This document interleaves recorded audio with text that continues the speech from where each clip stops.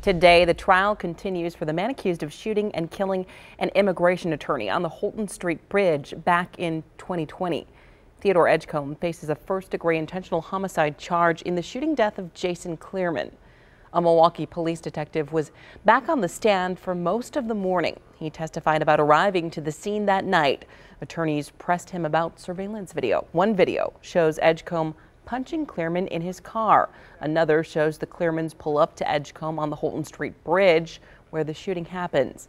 Testimony is expected to continue all day long, and the judge says the case should go until at least Monday.